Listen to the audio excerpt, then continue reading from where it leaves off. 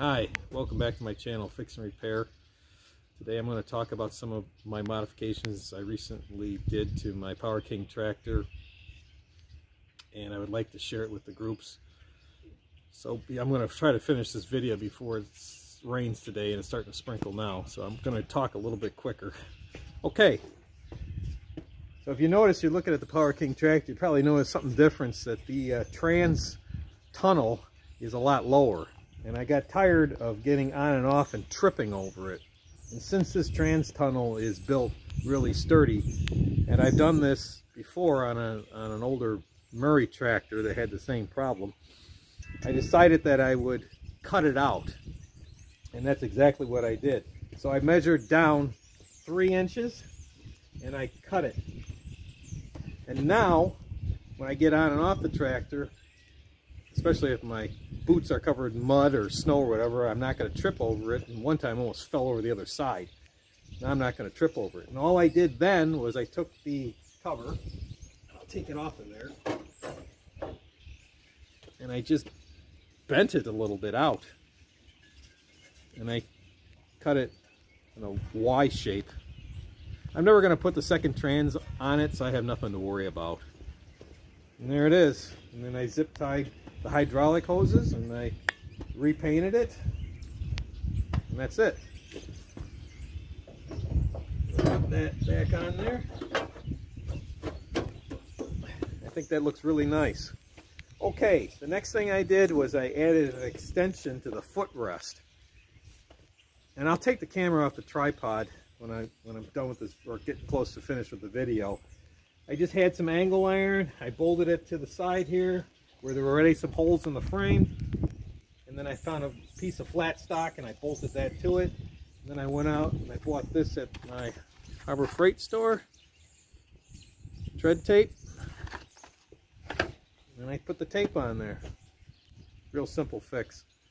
It's nice now because I made this pedal larger, but then since I made that larger, my foot wants to be over here when I step on it to get more leverage.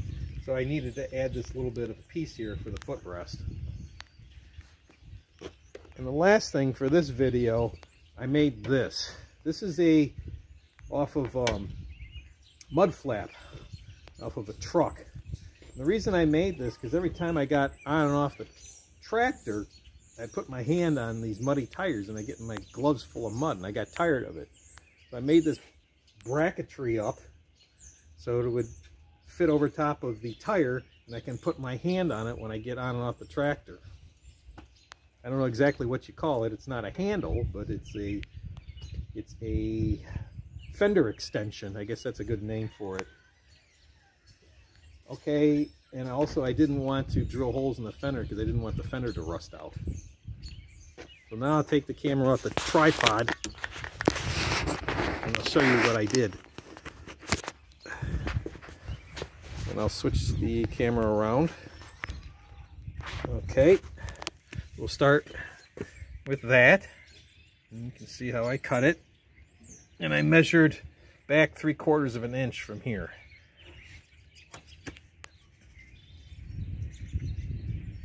Okay, we'll go down to this extension. As you can see, it's a piece of angle iron. And actually, this angle iron was off of one of those uh, outside basketball hoops. The ones where they got the sand in the bottom. This was a piece from the backboard. I cut it out so it would go around this. And then I used the holes I already had in here for this piece. I think one of these was already in the frame. And that one was in the frame back there.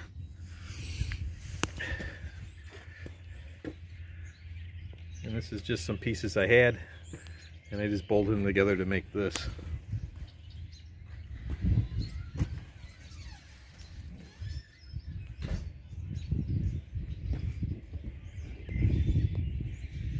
Also too, I can mention this I bought at Harbor Freight. This is for put on a tool cabinet to put your spray paint in, but I'm going to put my water bottles in it and I drilled out this hole to put my hitch pin in it. It's metal, so it looks nice. I rounded off the edges so it's not sharp.